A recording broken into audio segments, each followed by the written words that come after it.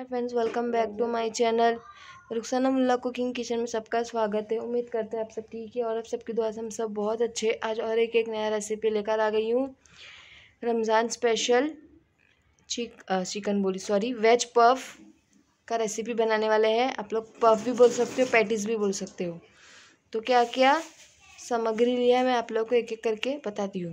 मिर्ची बारीक चॉप्ड ये अपना ग्रीन और लाल शिमला मिर्च एक एक लाल शिमला मिर्च एक ग्रीन शिमला मिर्च दो कांदा एक गाजर बटाटा दो पत्ता गोभी आधा। तो चलो अब उधर हम अभी कोतमीर काट रहे हैं। अब चलो बनाने की तैयारी करते हैं।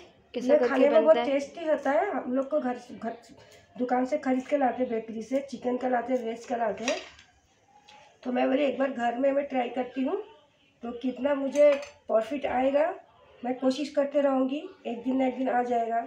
हम्म। अच्छा से अच्छा तो बाहर के खाने की ज़रूरत नहीं पड़ेगी। पक जाएगा मसाला उसके ऊपर डालने के लिए मैं काट कर ली तो चलो तैयारी करते बनानी। सब इतना छोटा कम कम ही लेना पड़ेगा क्या? हाँ मतलब जिसको जितना लेना है अच्छा। मैं इतना लिया हाँ। ओके। बन के इतना सारा भी हो जाता है। ठीक है। तेल खत्म भी होगा दूसरा तेल डाल देंगे खाली करके उसको। लेके आई कल खत्म हो गया था काटूँगी। हरी मिर्ची। तेल में हरी मिर्ची दोगे तो हरी मिर्ची थोड़ा अच्छा हो जाएगा। हाँ। तीखा तीखा आ जाएगा। कांदा। नहीं बटाटा। ये थोड़ा सा जीरा डाल देते जीरा में थोड़ा सा डालेंगे जीरा। पाँच फोड़न से भी बनाएगा तो अच्छा लगता है। हम्म। खुशबू आ गया अच्छी तरह से। ये देखो। अब उसमें डालेंगे बटाटा। बटाटा पहला दिया फिर बटाटा मोटा है। जल्दी गलने में धोखा नहीं एक चम्मच। हाफ़ टेबल स्पून एक चम्मच? एक चम्मच जिंजर गार्लिक पेस्ट बारीक गाजर चॉप चिकन के भी अच्छा लगेगा वेज के भी अच्छा लगेगा। वेज वेज नहीं आता बोलने को। वेज स्वाद अनुसार नमक।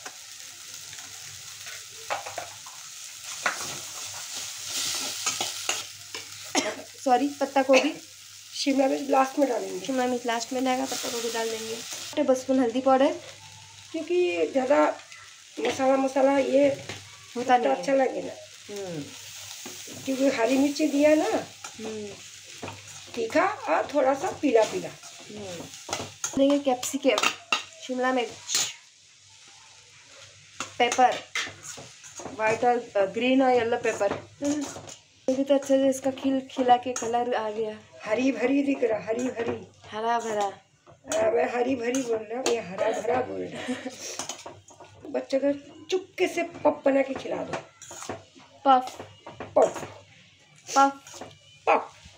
Puff. में कांदा। लास्ट में कांदा डालने का। क्योंकि कांदा जल्दी गल जाता है क्योंकि हमको कांदा को गलाने का नहीं है। कांदा को हमको थोड़ा सा पकाने का तो तभी जाके उसकी टेस्ट होगी पिरी पिरी मसाला डाल देंगे इसमें। आपके पास पिरी पीरी नहीं रहेगा तो मैगी मसाला डाल मैगी मसाला डालो घर पे जो है वो डालो। गरम मसाले जो है आप लोग डाल सकते हो। लेकिन पीरी पीरी मसाला डालने से वो टेस्टी बनेगा। ये रेडी ऊपर से कुछ में से गार्निशिंग कर देंगे। इसमें आप क्या बोलते हैं क्या बनाते हो? पिज़्ज़ा में डालते हो ओरिगन भी डाल सकते हो। ओरिगन हाँ। चिली फ्लेक्स जितना आप देना चाहते हैं इसमें मसाला उतना ही टेस्ट होएगा। हम्म। मेरा ये नहीं है। क्या मसाला बोलते हैं उसको?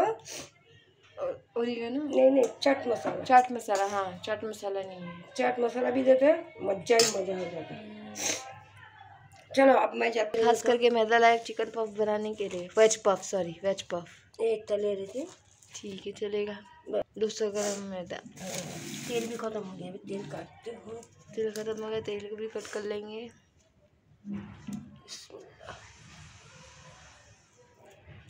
शक्कर डालेंगे। ज़्यादा नहीं है थोड़ा। नमक डालेंगे इसमें स्वाद अनुसार नमक। अब इसमें डालेंगे तेल। अब डालेंगे तेल।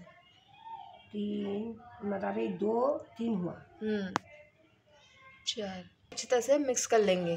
पाउडर बना लेंगे पाउडर हाँ।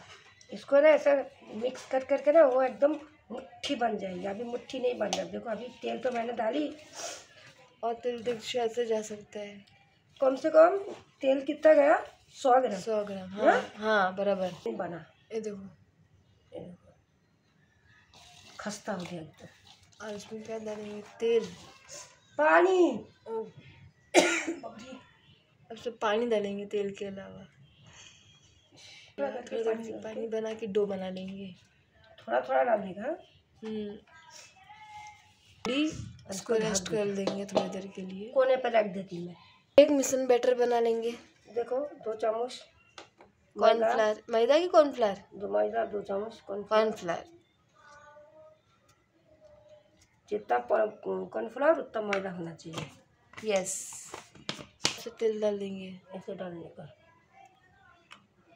देखो ऐसे करके तेल डालने से मुझे डर लगता। गिरने का। गिरने का डर। अब मुझे पसंद नहीं है। तेल गिरेगा ज़मीन पे। इसका बैटर ऐसा होना चाहिए। हाँ। करने रख दिए थे अब इसको रोटी बना लेंगी। अच्छा वाला रोटी बना लेंगे।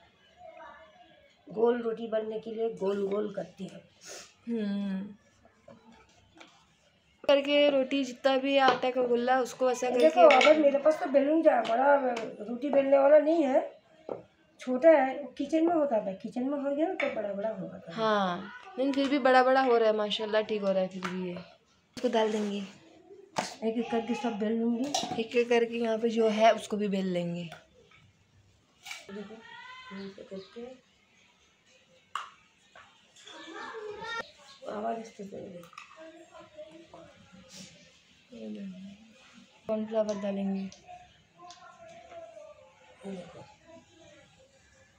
कॉर्नफ्लावर जाएगा? एक बड़ा एक छोटा हो गया कोई बात नहीं। जैसे जो निकलेगा ना उसको काट के साइड में कर देगा। हम्म। पतला का तो वजह से वो बड़ा छोटा बड़ा छोटा। हो गया। इसको दूसरे साइड से भी वही ऊपर उसको मिक्स कर देंगे। पता रखी मेरे को नींद आ रही थी, इसलिए मम्मी ने पहले से रोल कर दिया और मैं सो गई थी। इसलिए अभी मम्मी इधर पे अभी इसको अच्छे अपन साइड से इसको काट लेंगे तो इसको कट कर लेंगे।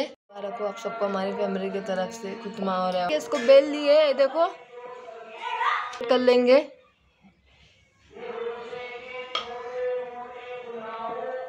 अब इसको आजू बाजू से कट कर एकदम चौकन बन गया है। डालने के लिए ले लेंगे। खाली कुसुम जाएगा उसका।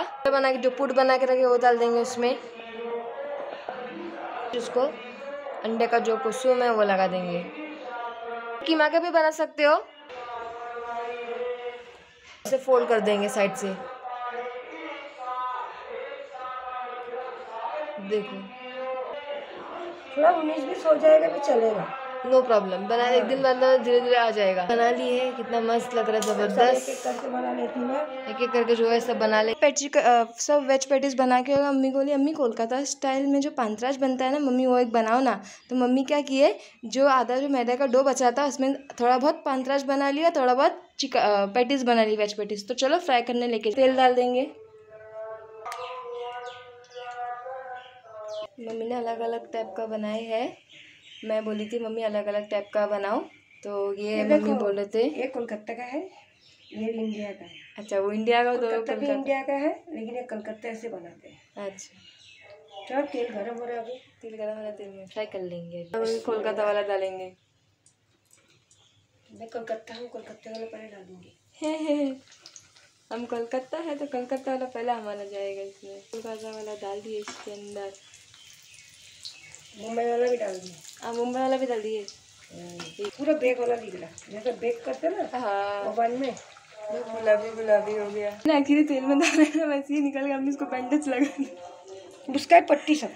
उसका पट्टी से मम्मी ने इसको बैंडेज कर दिया। पैर में लग गया था उसके। तो सब बाहर निकल गया था। तो मम्मी इसको बैंडेज कर देखो।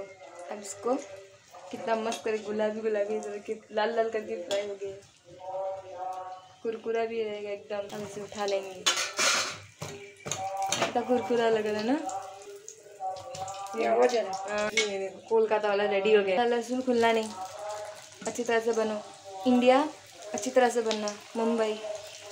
वेज पफ मम्मी के स्टाइल का रेडी हो गया है। कितना कुरकुरा कितना एकदम लहर आया देखो कितना लहर आ गया है देखो। ये देखो पूरी लहर खुल गई कितना ज़बरदस्त लग रहा है। अब इसको मैं तोड़ के दिखाती हूँ वाह कितना कुरकुरा है देखो अंदर मसाला। हम लोग रोजा है ना खा नहीं सकते तो अब देखो पूरा एकदम पत्ते के जैसे एक एक लहर खोल रहा है देखो ये देखो ये देखो। हम्म, तो चलो अब ये जो ग्रीन चटनी शेजवान सॉस के साथ भी खा सकते हैं।